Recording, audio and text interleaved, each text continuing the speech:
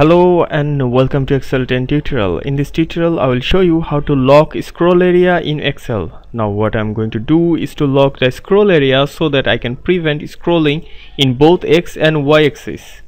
I'm going to use VBA code for this tutorial and let's get started. Take a look at the workbook here. This is my workbook and I have lots of data in here and you see I can scroll it this way and in this way and now I want to lock the scroll area. I want the sheet to be locked in this position.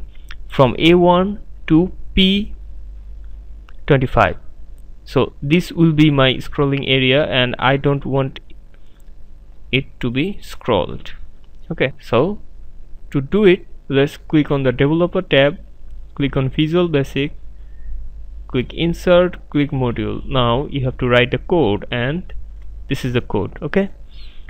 Take a look at here sheets. You will have to write the sheet name which is here.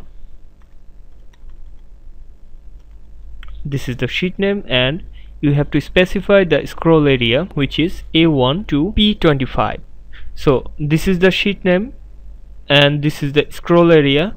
And now click on here run.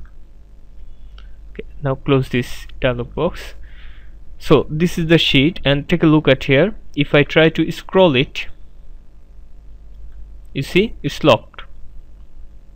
If I try to scroll this I can't scroll this also. So this is what I wanted to do. Thanks for watching. If you are new here please subscribe because this channel is all about learning Excel so that you can increase your productivity. Leave a comment and share this video with your friends because this means a lot to me. This is Kazi signing out from Excel 10 tutorial. Thank you